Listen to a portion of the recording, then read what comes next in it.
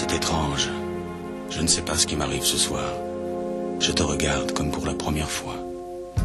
Encore des mots, toujours des mots, les mêmes mots. Je ne sais plus comment te dire. Rien que des mots. Mais tu es cette belle histoire d'amour que je ne cesserai jamais de Des lire. mots faciles, des mots fragiles, c'était trop beau. Tu es d'hier et de demain, Bien trop beau.